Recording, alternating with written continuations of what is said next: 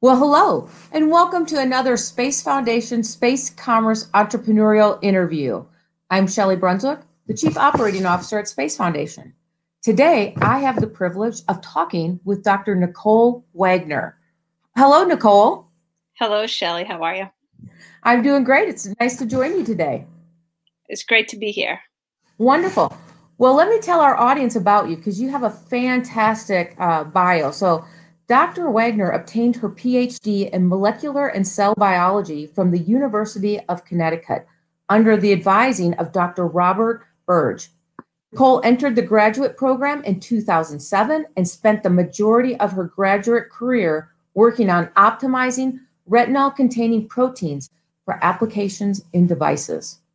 During the course of her PhD research, she played a critical role in the proof of concept experiments which helped to found Lambda Vision in May 2009. Nicole is an accomplished scientist and entrepreneur with numerous peer reviewed publications, presenting her research both nationally and internationally at meetings.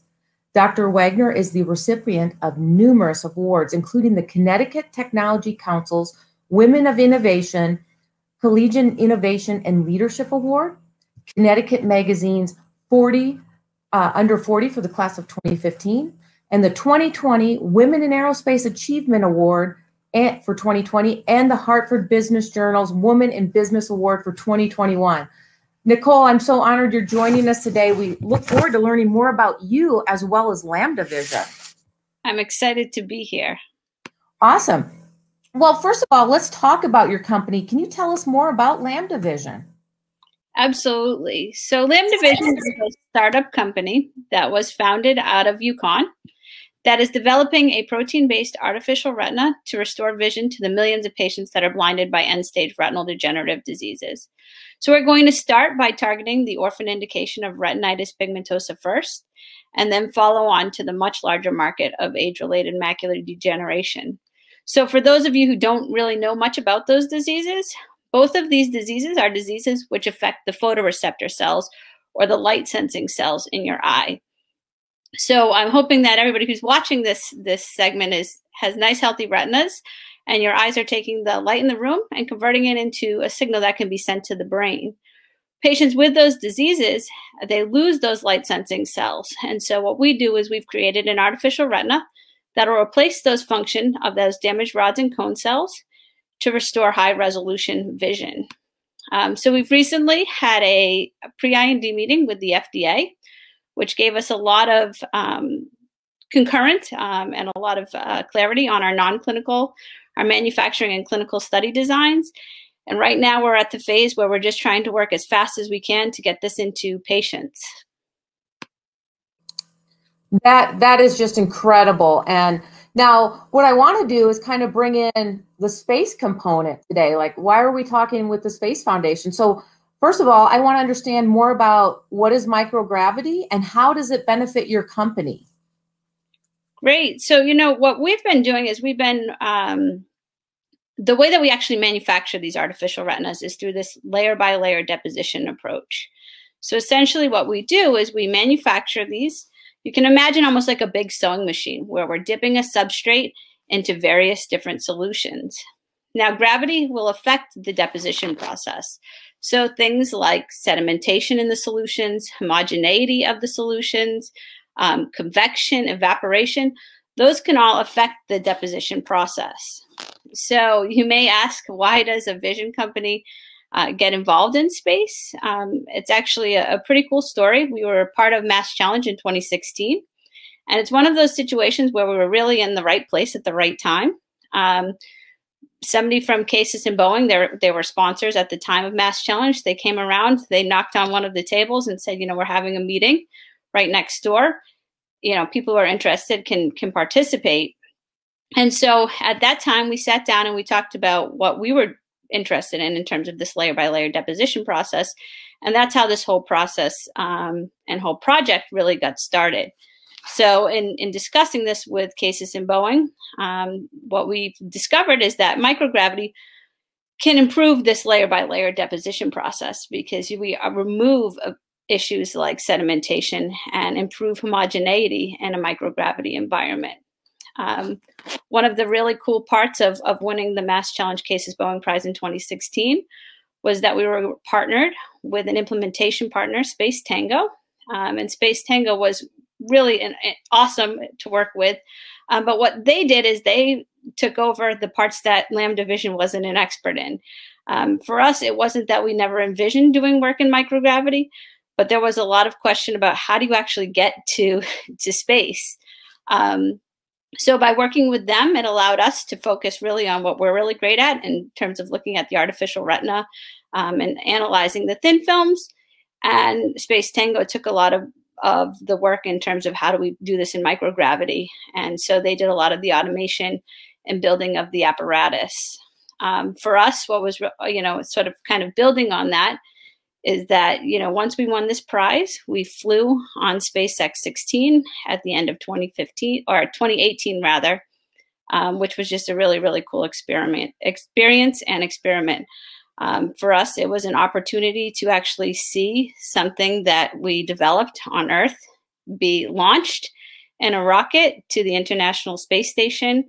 Uh, we actually had the opportunity to go to Kennedy Space Center um, and watch the launch. Um, so it was really just an incredible experience. That is really amazing. What I'd like to do is, uh, you know, your company is fantastic, but I really want to share with our audience how did you get started with this company and this concept? How did you, what was your journey that got you here? So, a little bit of serendipity here. Uh, you know, for me, it was a little bit of a non traditional path. Um, I initially graduated high school and, you know, I really loved the sciences and math. Um, and, you know, took my first step into, into college by going to Florida State. And at that time, you know, I really wanted to be a physician. Um, fast forward, Florida State, after being there a year, really wasn't the perfect place for me. It was I was homesick. I'm from New England, um, so I came back closer to home. I went to UConn, and to be honest, the the only reason I joined a research lab was to check an application, you know, check a box on a medical school application that I did research. Um, so I started with Dr. Birge uh, in this time it was about 20 or 2004, 2003, 2004. Um, and, and really, you know, got to see what his lab was doing and what the research that he was conducting uh, was about. Um, and so Dr. Birge is really a pioneer in using light activated proteins for device applications. And so, you know, after being there for a year, I got more involved into the with the research and decided that I was going to pursue a PhD um, which was you know different than my initial medical school applications and and target early on but i think you know actually worked out for the best for me so after joining his lab an opportunity presented itself to start a company around using this light activated protein bacteriorhodopsin for uh, application in this artificial retina and you know when i had the opportunity to take on this leadership role i really ran with it and so you know that really was the start to Lambda Vision and the start to my career and introduction into entrepreneurship. Amazing. It just highlights that you never know how your journey is going to go, but you know, just always be prepared and then be open to new ideas and new opportunities as the door opens. So, thank you for sharing that. Um, you shared earlier some of the partners that helped you along the way, but I wanted to learn more about the partners that helped you along the way and who were some of them and, and how were you able to find them and and how did they help you position yourself for success you know there's there's certainly been no shortage of of mentors um, you know academic faculty business advisors that helped us along the way um, but as it relates to a lot of the space work that we were doing you know, as a vision company in space manufacturing, it really wasn't on our radar at first. And it really wasn't on our radar, not because we didn't think it was possible, but just because as a vision company, we didn't know how to get there. Um, and there's, you know, there's, it's a lot of thinking about the experiments in a different way. Um, and, you know, I'm happy to talk a little bit more about that and some of the lessons that I've learned moving forward. But, you know, I think for us, we had the support of CASIS in Boeing, which was, you know, provided some financial support, but it also allowed us to be partnered with Space Tango. Um, and Space Tango, you know, is really a pioneer in, you know, building and, you know, these, these Tango labs on the International Space Station that helped to automate experiments. And so through working with them, we were able to bring our, our vision really to fruition uh, and, and do the first experiment on the ISS. Um, you know, I think also beyond, you know, the relationship that we have with NASA and CASIS in terms of just funding, the other advantage in, in partnering with them is that they really, you know, as a small business, one of the things that people always say is, you know, it's always about the team and building out your team. And so by partnering with CASIS um, and Boeing for this initial study, it really allowed us to expand our team exponentially. I mean, we had access to some of the leading researchers in microfluidics, thermodynamics, uh, engineering, mechanical engineers, just a, a, huge wealth of, of a team that it came, you know, that came to us um, just by through this project. Additionally, for, for those of you who are thinking about, you know, maybe doing something in microgravity, they have helped us, you know, also reach out to potential funders, um, other partners, industry partners. So that has been, you know, for us, uh, great as an early startup company. Um, you know, I think as we we move forward, you know, I think it is not just NASA, CASIS, Boeing, but it's also the support from the state of Connecticut, being part of an incubator program here. Um, working with the University of Connecticut has been phenomenal, um, as well as some of the other early government agencies that have supported us as well. So the National Science Foundation and the National Eye Institute have been incredibly supportive, moving the company forward and helping us get some of that R&D support. Wow. So you've talked about a number of things that help entrepreneurs finding the right team, finding partners, finding some seed money. Now, you have talked about manufacturing. And so I want, would you tell us more about GMP and how it is different than manufacturing on Earth? And why did you choose to pursue this form of manufacturing than traditional manufacturing methods?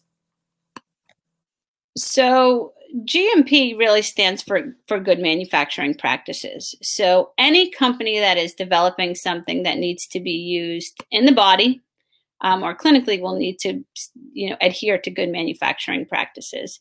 And really what that means is that if you're going to be using this in the body, it needs to be something that is manufactured with consistency, control, as well as reproducibility. Um, and, you know, terrestrially or on Earth, there are a number of GMP facilities where you can go um, that have all of the regulatory guidelines and everything in place to be able to manufacture a product that will be eventually be used in humans. Um, so what we're doing is is just that. I mean, we're going to adhere to all those same guidelines, but now we're starting to look at what that might look like if we do this in microgravity. So there's a bit of um, you know thinking about what mic- what GMP manufacturing looks like in microgravity, as well as what some of those practices and policies are going to be, um, and doing you know the research really with a you know a different quality standard um, and adhering to a standard that that has you know a lot of documentation and, and processes and procedures in place. Um, so for us, you know, I don't think we're trying to reinvent the wheel here. I think what we're really looking at is, you know, how can we manufacture the best product that we can use um, to restore vision to these patients with macular degeneration and retinitis pigmentosa. And so, regardless of where it's manufactured, we are, are working to implement those processes and procedures now. That's fantastic. Um, I love how we talk about, you know, microgravity environment, manufacturing in space. It's all, uh, you know, exciting technology. And, and like you said, we're using GMP, whether it's on Earth or in space. So along this process, as an entrepreneur, I'm sure you had some challenges. Would you share some of your challenges that you've had? Um, what were some of your biggest challenges you've had? Well, there's certainly no shortage of, of challenges as an entrepreneur. Um, as a researcher, as a scientist, uh, you know, I think for us, or for me personally, you know, one of the biggest challenges in starting up a company is was really, I, I would say, youth and inexperience in the beginning. Um, you know, it's it's that you haven't done this before. Uh, and so, you know, you have to demonstrate to the people that you're pitching to or the government agencies that you're you're trying to get some funding from that you have the right team in place. And so for me, you know, that was initially a challenge. Um, but you know, since that time, we have we have significantly built out our team, an excellent board of directors, um, and I've really been working with a number of business advisors as well to really help us overcome some of those challenges. You know, I think from a, a scientific perspective, the other challenge in, in doing this in microgravity is really thinking about the experiments slightly differently. So, you know, when you're doing something terrestrially, you can, you know, you go into the lab, you try it out, it might fail, no problem. The next day you set up the experiment and try a different parameter. Microgravity, um, you don't necessarily get as many shots on goal. Um, so there's certainly a lot of, of advanced planning that goes into these experiments before a launch. Um, things that you you know I wasn't thinking about before. So weight, you know, the way that we're doing this in a in a terrestrial environment, this is really taking up a lot of landscape in the labs. You know, we had to miniaturize the device. We had to think about voltage requirements, um, temperature requirements, storage, all of those things. You know, I think as scientists you think about, but you know may not be the key drivers of your experiment, at least when you're doing this terrestrially. So that was certainly something that we've we've learned um, and have had to to change along the way. So for me, you know, I think that that plays into a lot of a lot of different things, whether it's technology glitches, whether it's you know getting your computer to work, whether it's your car doesn't work. You know, I think these are are challenges that that everyone seems to face, and so it's really about becoming adaptable. Um, and I think you know those just being open to that and understanding that every day is going to be a little bit different um, really has helped me personally overcome a lot of those those challenges. That's wonderful because again, it's highlighting that you're gonna everyone's facing challenges and you face them as an entrepreneur as well and a startup company. So amazing. Well, share with our audience some of your biggest successes. Successes, you know, I, I think it's always harder to talk about your successes, right? Um, but for me, you know, I think one of the biggest successes for me was graduating with my PhD. Um, you know, I it was a long journey to get get through a PhD. Um, but what I really liked about it is that I had the opportunity really to take a research project and really transform it into something that is now a, a company that's poised for growth and that is going, you know, that is developing a product that's going to help millions of people worldwide. Um, you know, so so seeing that whole process for me was was was personally you know very gratifying um, and something that I, I, I got a, get a lot of personal satisfaction from and I, I view as a huge success. Um, you know, beyond the professional successes, you know, personally, I'm a mother, a wife. Uh, you know, I've enjoyed being a role model for my kids. You know, my kids now, when they see a rocket launch, they say, "Mom, look at it, it's your rocket up there." and so that's been a lot of fun and, and watching them and, and seeing how they you know love science and, and nature. And you know they, they take my business cards out and say that they're a business girl. Um, so you know watching them grow has been you know personally you know as well an, an accomplishment for me. Um, as well as you know building community of other entrepreneurs. I have been you know for me i've been passionate about seeing you know helping other entrepreneurs I have been very fortunate to be on the receiving end of a lot of mentorship um, and have had a great group of advisors. And so for me, if I have an opportunity to give back to other entrepreneurs, you know, I'm, I'm very happy to do it. And I find that very rewarding as well. I, I, am grateful for that. And that's part of why we have this uh, podcast series. And with that, are there some le- uh, lessons learned that you'd like to share with the entrepreneurs that will be listening to this podcast? There are there are so many lessons learned right? Um, i was recently asked to be my high school commencement speaker this year. And so i've been thinking a lot about you know lessons learned for me um, and you know really how did i go from you know thinking about medical school to being a researcher to starting a vision company to now being funded primarily by by nasa and doing microgravity work and so, you know, I think the the one thing I would say to people is is just show up. You know, a lot about life and a lot of, you know, is is working hard, but it's a lot of serendipity. And so you never know who you're going to meet sitting on, you know, sitting next to on the bus or on an airplane. Uh, and so you just don't know what's going to be around the corner. And so for me, you know, I always tell people, you know, show up, work hard, and and you know you will you'll achieve what you want because you you just you never know who you're going to meet. Um, you know, another thing that I always like to tell entrepreneurs, and this was a tough one for me too, um, but if you don't ask, the answer is always no. So being an entrepreneur can be incredibly intimidating and you know as as you're starting off you certainly don't know everything. I can you know a, a funny story is you know i was talking to a vc when i was right out of graduate school and a lot of this is you know learning the language right? So i knew the language of science but i didn't necessarily know the language of, of business. And so you know the very first question i get is you know is your product a 510k a pma a bla and i was like oh my gosh you know i'm sitting there googling what all of these words meant um, but simply ask the question, learn, um, be open to to finding out what you don't know. Um, and you know what? If you if you don't ask, the answer is always no. Um, you know, I think sort of to to to round it out, the other part is is just be open to pivoting. There are so many changes. Um, every day is is different. Uh, you know, every every experiment is going to come with its own set of challenges and just be open to to those challenges. That's great lessons learned for everyone watching today not just entrepreneurs but great life lessons for all of us. So thank you. You we did talk about some of the financing you received and the startup funding. One of the questions you know people will want to ask is what makes this financially feasible especially when you're looking at manufacturing in space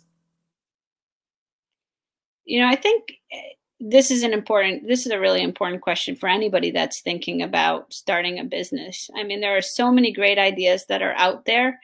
And you know it's not just about having a really great idea but it's you know about having a great market as well. And there has to be a huge unmet need. Um, so as we're thinking about doing this in microgravity you know a lot of the questions we get is you know is this is this feasible? I mean now if you if you manufacture this in space can you make money off of of this and so, you know, for us, uh, what I think is is unique about our particular product and what makes it a great example and a potential use case for for manufacturing in microgravity is that we are targeting um, the orphan indication of retinitis pigmentosa. So retinitis pigmentosa affects about 100,000 people in the United States, about 200,000 people if you can include Europe, and then over 1.5 million people globally. Um, but one of the benefits of working with an orphan disease is that you usually have small clinical trials. Um, you have a small, uh, usually a smaller preclinical trial as well. And then you also work very, very closely with the FDA, which is a huge advantage. Um, so for us, this gives us the opportunity to work with a smaller patient population. So we have a much smaller scale before we move to a larger market. Um, so we're not thinking about manufacturing, you know, hundreds of thousands of these on the first run to the ISS. Um, you know, we're talking about hundreds to a thousand. Um, and then the other advantage here in how we are manufacturing this is that we are, you know, some of the huge drivers of cost for manufacturing on board the ISS, you know, has to do with, you know, astronaut time, automation, um, how much you know how much weight and mass you're flying. And so the other advantage here is that this is a very very small product um, and that the protein and everything that we're using is very very stable. So for us i think you know there is the economics are, are there behind the product. And you know i think it's a great opportunity to explore manufacturing and microgravity and also building out some of these gmp capabilities which can then be applied to many more other markets beyond the artificial retina um, and uh, you know clinically to other applications as well. So a pioneer you're a pioneer in many ways. So we talked about you know partnership we've talked about finance defining your market you know you're kind of setting yourself up for success.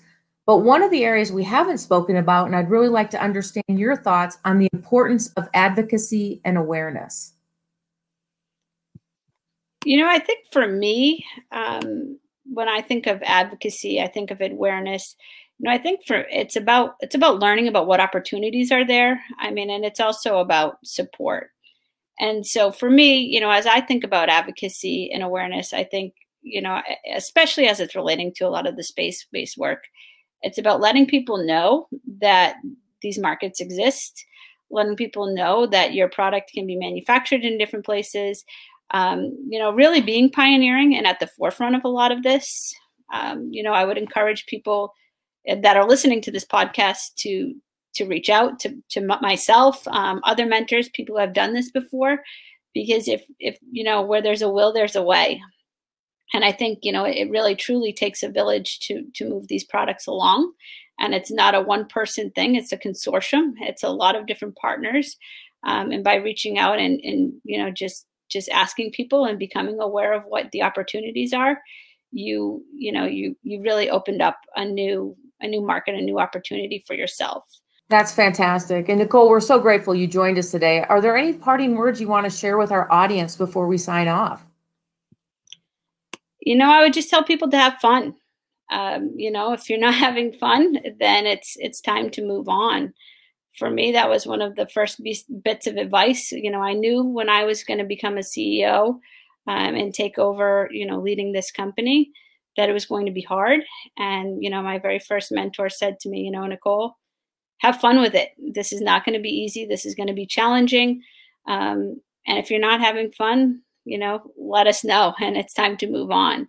So while that can be be challenging, uh, you know, I would tell everybody, you know, have fun with it, take the opportunities, learn what you can, um, and just you know, have a certain openness to to exploring new new ideas and opportunities. Fantastic. Well, thank you so much, Nicole. This has been an amazing interview. We hope you'll join us again in the future. I would love to, I would love to join this join you again um, and be part of this. This is this has been wonderful talking with you. Wonderful. Well, if you're interested, our audience, if you're interested in learning more about our Space Commerce Entrepreneurship Program or watching more of our Space Commerce Entrepreneurial Series, you can go to our website at spacefoundation.org and check us out and check out our Space Commerce series. I want to thank you for joining us again today, and we look forward to seeing you again.